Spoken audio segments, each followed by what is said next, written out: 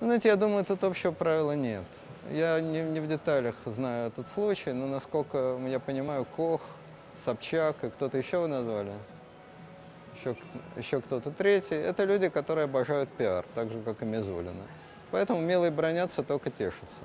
Публично обливать друг друга дерьмом, нападать, рассказывать, как их преследуют и так далее, это образ жизни этих людей. Поэтому шкуры у них толстые, что у Мизулиной, что у Коха, что у Собчак.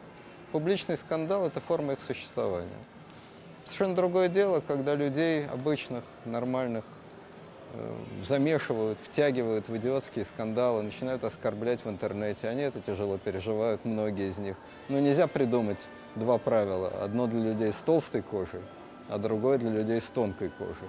Одно для людей, для которых скандал и взаимное поливание дерьмом – это бизнес и образ существования, а другое для людей, которые реально воспринимают очень болезненно это. Поэтому я думаю, что никакого общего правила и общего закона здесь не придумают.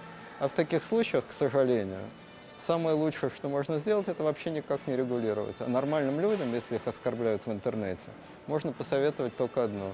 Не суйте голову в этот унитаз, забудьте о нем.